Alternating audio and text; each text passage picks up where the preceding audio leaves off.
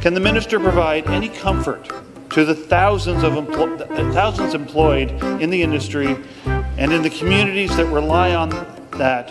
The government will not abandon this sector as the Liberals did when they declared manufacturing in Ontario to be dead. Speaker, what should bring comfort is the fact that over the last 20 months, Ontario has attracted a record $16 billion in auto investments. And most recently, uh, Belgium's Umicore announced a $1.5 billion investment to build North America's first industrial-scale battery materials plant, and they're doing it here in Ontario.